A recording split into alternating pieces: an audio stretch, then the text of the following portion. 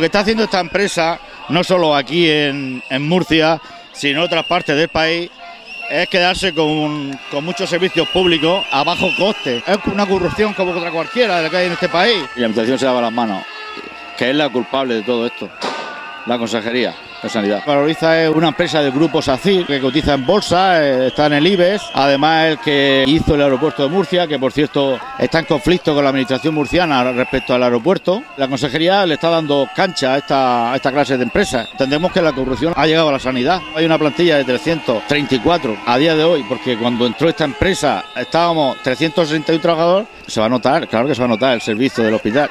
Y hablamos de un hospital, no estamos hablando de un restaurante o de un parque, ¿no?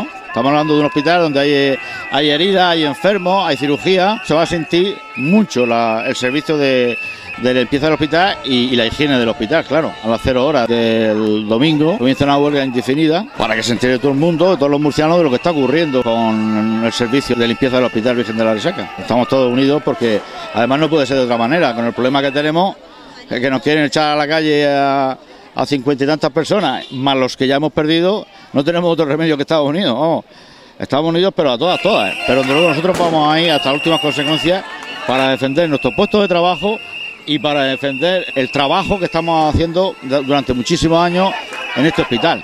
¡Manos arriba! ¡Esto es un atraso! ¡Manos arriba!